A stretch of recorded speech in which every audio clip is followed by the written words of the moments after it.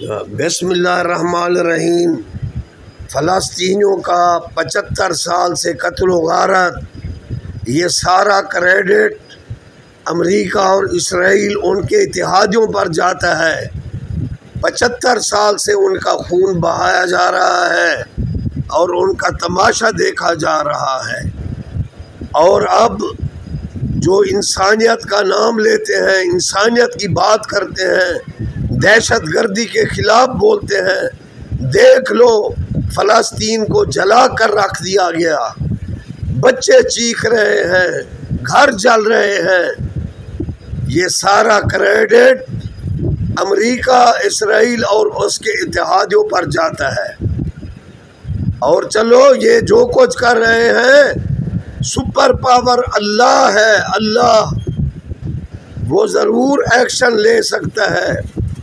اسی طرح مودی، وہ مذہبی دہشت گرد ہندو ازم اور جو کشمیریوں کو پچہتر سال سے قتل کر رہا ہے کشمیروں کے بچوں کو اور دنیا اقوام متحدہ خاموش تماشائی بنی ہوئی ہے۔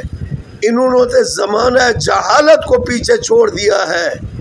کیا یہ یوم مناتے ہیں چلڈرن چلڈرن ڈیز پتہ نہیں کیا کیا ڈیز مناتے ہیں۔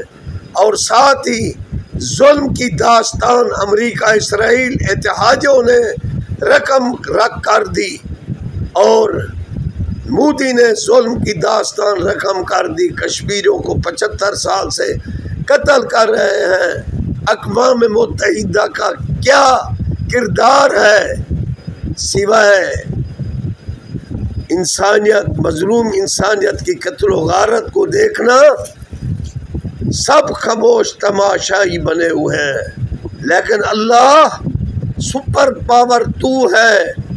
تو ضرور ایکشن لے اور ظالموں کو اپنی گرفت میں لے لے۔ ممالین البلاغ۔